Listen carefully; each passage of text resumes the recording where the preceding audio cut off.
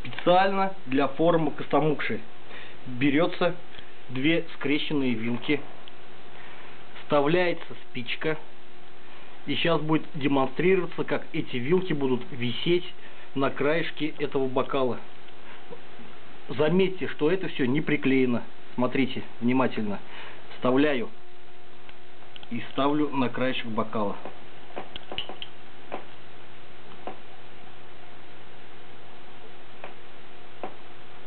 Пожалуйста. Заметьте, это все не приклеено. Вон, она шатается.